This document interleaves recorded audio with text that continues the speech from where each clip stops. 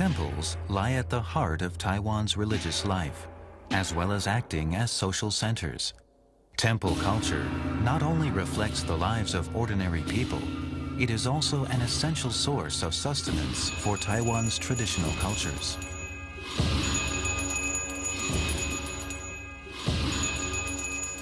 The many temple festivals that take place in Taiwan are all occasions on which the faithful express their sincerest thanks to deities through the performance of rites. The wealth, vitality, and joy of these events bring forth the richness of Taiwan's culture and are an expression of popular desires for peace and prosperity.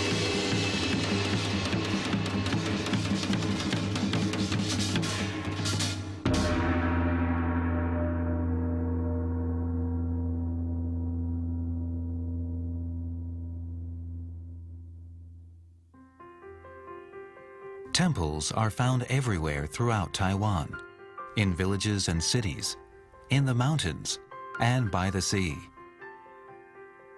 Although they may appear similar in traditional communities, these old simple temples often provide a record of local historical development and are also a force that shapes the social and economic activities of the area.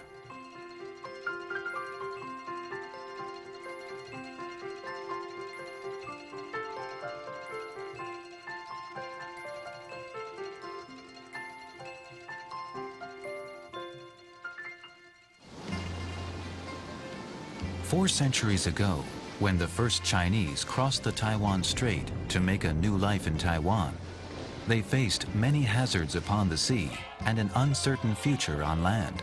They carried with them images of the guardian deities of their hometowns, to whom they could pray that they would settle safely in their new homes.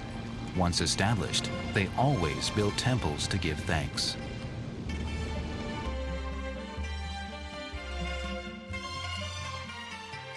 These deities accompanied Taiwan people's ancestors through the arduous years of pioneering life in a new land, becoming the guardians of these new communities. In this process, they grew new roots in the communities in which they were established.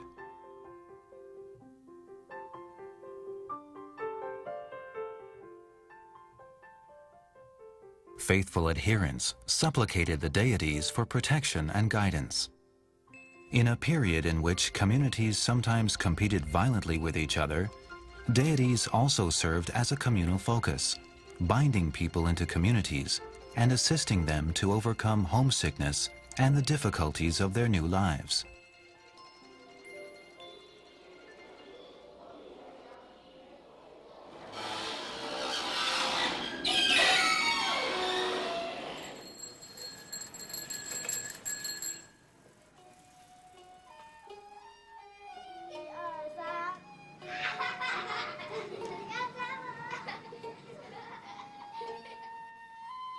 Temples served as places for people to assemble, discuss issues, and exchange information.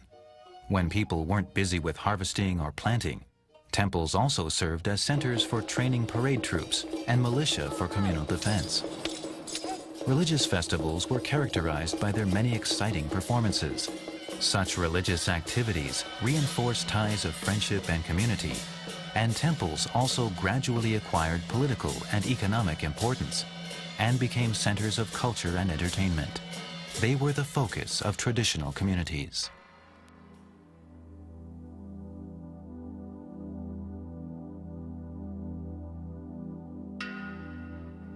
Temples are places where humankind communes with the spirit world. They also serve as important landmarks. The building of a temple generally brings together craftsmen, artisans, local scholars, and gentry to participate in its planning and construction. People like to give thanks for good fortune, and so, when their economic circumstances improve, they often wish to provide more elaborate accommodation for their deities. This means inviting top craftsmen to make expensive additions, thus making the temple more majestic and ornate. Temples have both historic and artistic value and are a sincere expression of people's faith.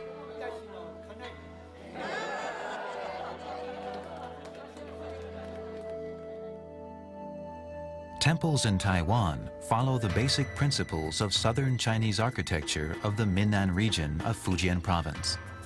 Since temples are influenced by local social, economic, and cultural circumstances, each has its own unique character Temples generally have one, two, three, or more halls. Higher ranked deities tend to be given temples with more numerous halls and doorways.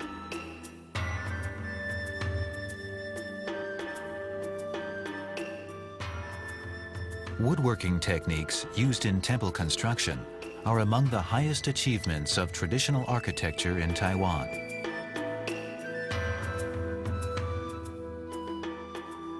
A broad ceiling is supported by pillars and lintels.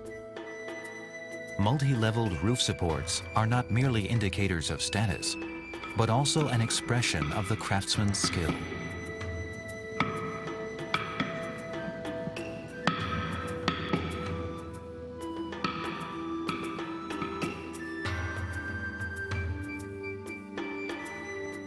Diverse decorative elements are another attraction of Taiwan temple architecture. Great attention is paid to sculpture, inlay, ceramic work, calligraphy, and painting.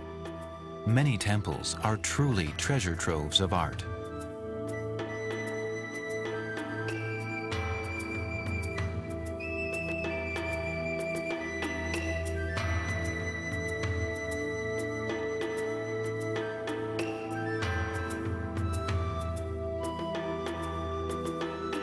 Artists' skill and knowledge are used to create majestic stone lions and gorgeous dragons curling round temple pillars, which stand guard against evil influences.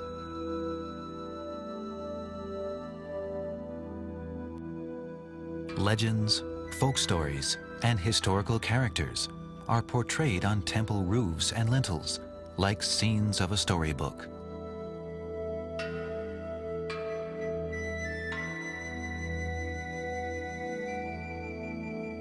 Vividly portrayed flowers and animals, and gracious lines of auspicious symbols express humankind's eternal pursuit of beauty.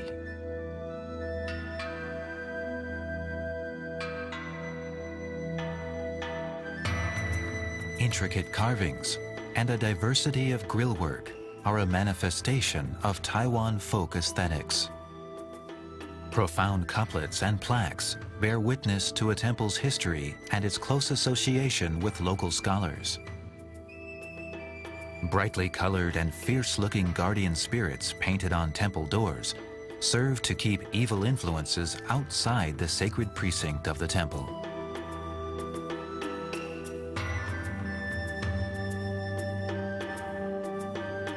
While enjoying such artistic splendors, it might be noticed that works sometimes appear to have been executed in different styles.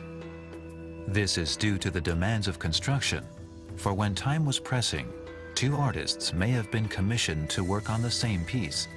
Competition often ensued between the two, as each tried to outdo the other in the beauty and intricacy of his work.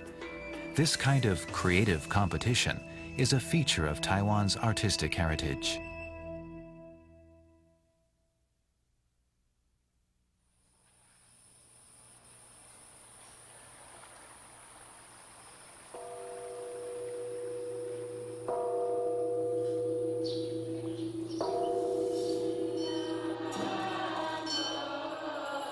While Taiwan practices religious freedom, the traditional religions of Buddhism and Taoism predominate. There are also many folk deities as well, of which Mazu, the fisherman's deity, and the plague god are two of the most important. There are also many other nature gods, local earth gods, guardian spirits, and ancient sages whether spirits of heaven or earth, or of persons or things. They all have superhuman qualities with which to fulfill their roles.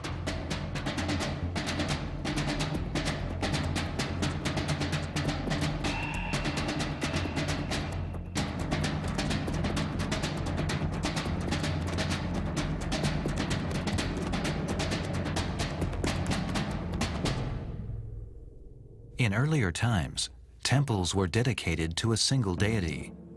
As trade and population increased, however, a single community would have a variety of spiritual needs. Merchants prayed to Guangong or Tudigong, the earth god, for good fortune. Students made offerings of radishes, celery, shallots, and rice dumplings to Lord Wenchang for success in examinations. And young couples sought the blessing of the old man under the moon for a happy marriage. Later on, therefore, temples became places for the worship of a group of deities, regardless of whether Buddhist, Taoist, or folk god, so long as each deity catered for the needs of a section of the community. This led to the practice of dedicating temples to numerous deities. With many temples in Taiwan, particularly the larger ones, combining Buddhist, Taoist, and Confucian worship.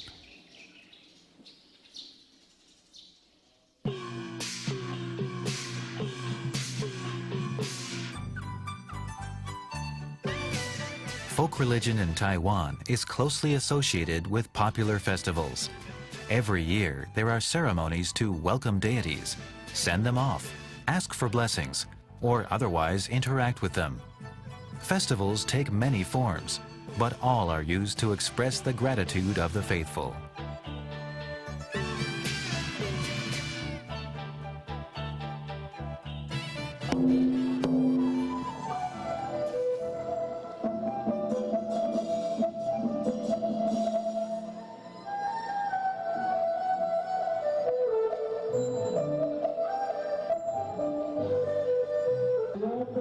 The various festivals not only reflect the close connections between locality and religious affiliation, but also the development of unique local customs.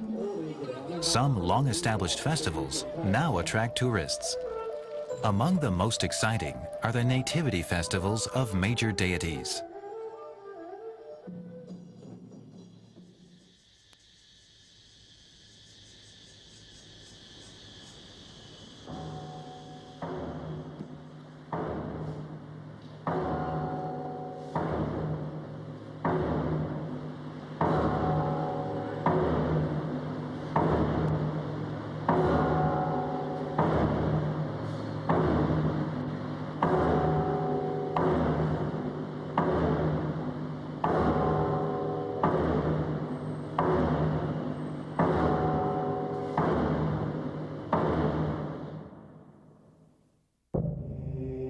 The 23rd day of the third lunar month is the Nativity of Mazu, a festival involving Mazu temples throughout the country.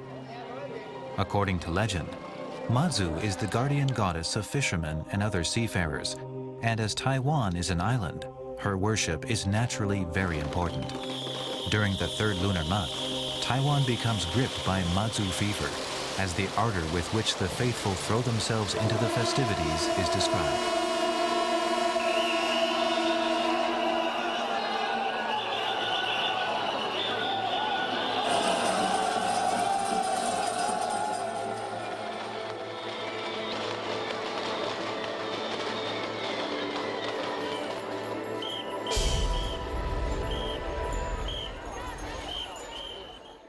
The term jinxiang, meaning the offering of incense made by pilgrims, is used to describe the participation in a parade in which a deity is carried from community to community. These are often massive affairs covering long distances in which participants worship along the way to show their piety. Holding sticks of incense, pilgrims hope to carry the deity's palanquin and pray for protection from evil Shops along the route will lay out offerings, each competing with the next. By providing food for the pilgrims, they also advertise themselves and generate good connections with the community.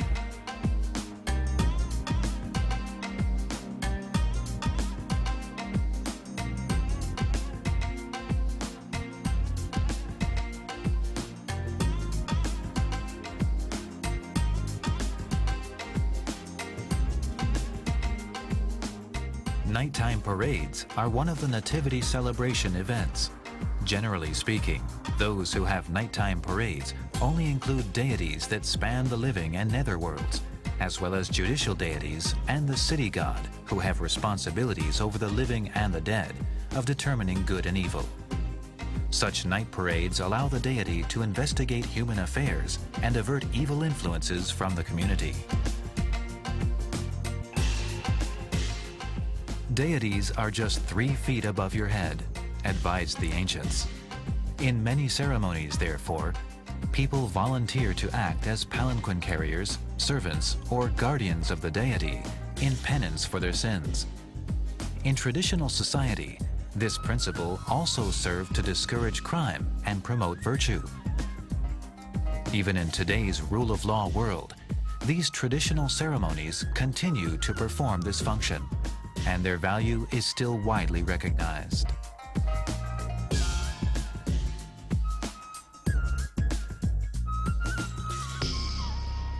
Other features of these ceremonies of worship and thanksgiving are the performances and competitions that accompany them. These take a wide variety of forms and express the fervor of people's faith. Amidst the din of drums and gongs, performers do their utmost to win the favor of the deities and the applause of their audience. This entertainment for gods and humans makes temple festivals a showcase of folk arts and has provided them with a forum in which they can be passed down to future generations.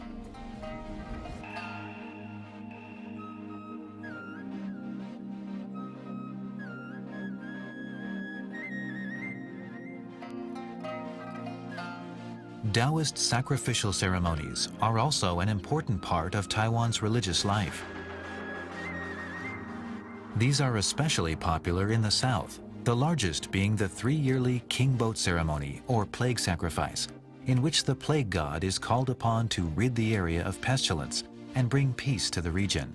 This is also known as a tour of inspection of the gods. The two most famous king boat ceremonies are held at Qing'an Temple in Xigang, Tainan County, and at Donglong Temple in Donggang, Pingdong County.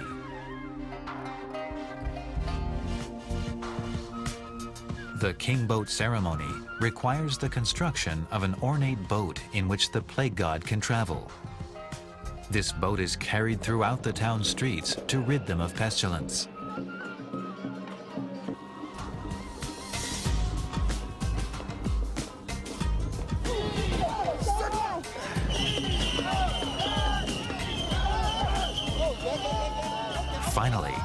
Fully loaded with pestilence, the boat is carried out of the town and burned.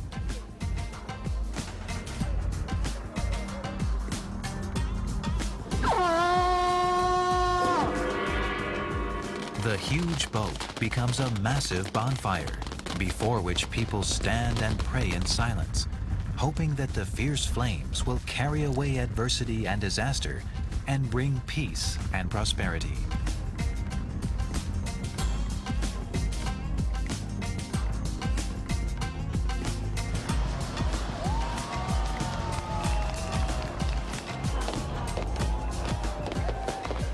Many ceremonies are associated with a specific locality in which a deity is called upon to rid a harbor town of pestilence and bring good fortune to fishermen. Among these are the Beehive fireworks celebrations honoring Guangong and the bombing of Lord Handan, which serves a similar function.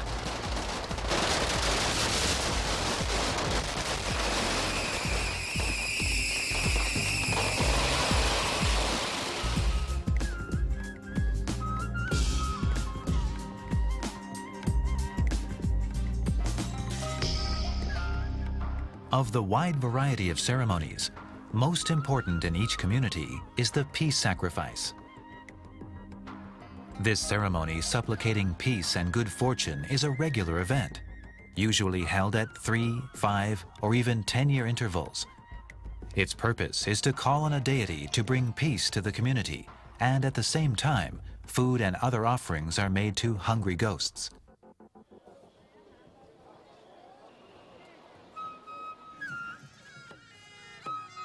On occasion, water lanterns will be released to guide the dead to shore, where they can feast on the offerings. placating them so they will leave the community in peace.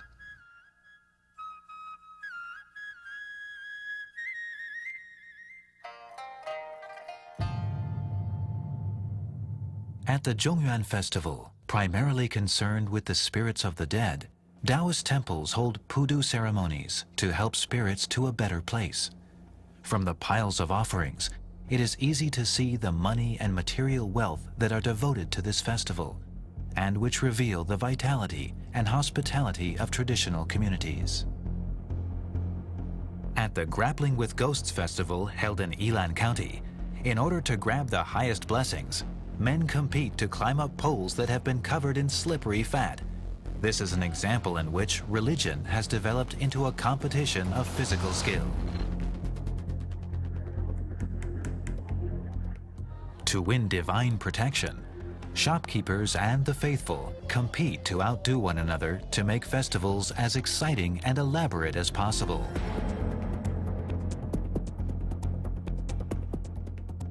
Huge strings of firecrackers are set off to create the right atmosphere.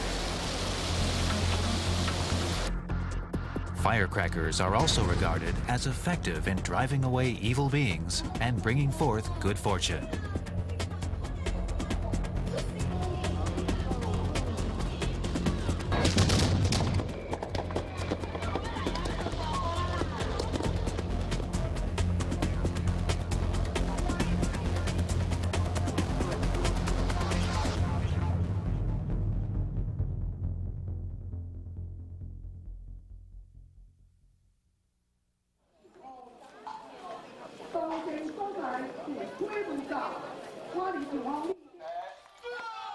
Temple courtyards feature in many people's recollections of childhood.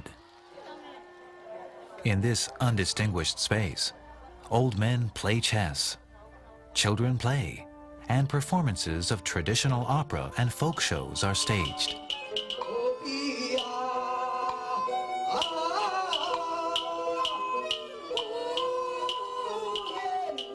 During election campaigns, these are also focal points for candidates to solicit support.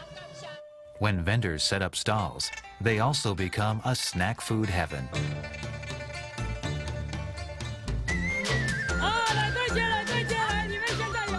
Originally, such stalls provided simple meals for worshippers visiting the temple.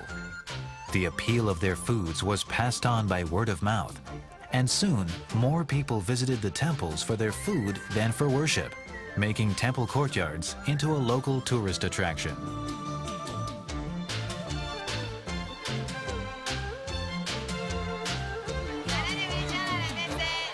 Competition is always intense between these stalls, which regularly advertise they were the first, the only, or the oldest. The stall owners have preserved the culinary culture of their home and kept people well fed in the process.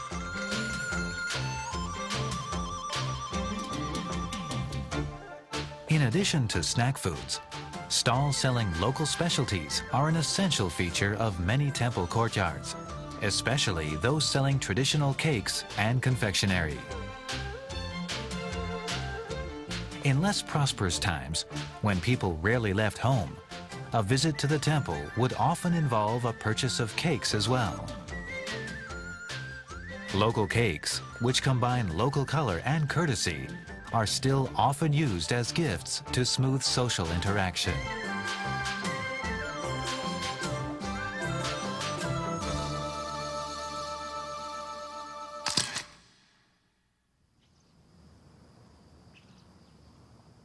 In traditional Taiwanese society, temples combine religion, education, art, entertainment, local government, and defense within a single organization.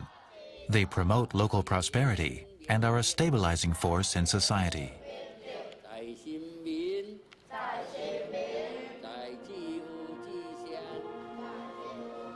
Even in these days of technological development, temples continue to play an important role in Taiwan.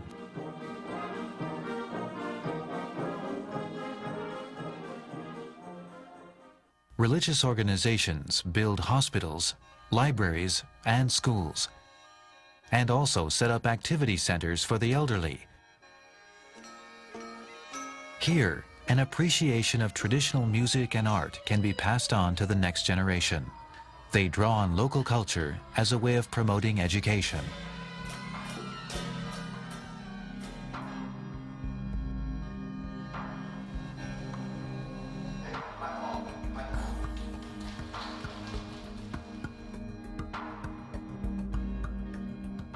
Buddhist groups are extremely active. For believers not only take vows to practice their religion and emulate the spirit of bodhisattvas in helping others, they also take an active role in social education and relief work. Many practitioners also actively promote a spiritual environmentalism in the hope of increasing the quality of life in today's highly competitive world.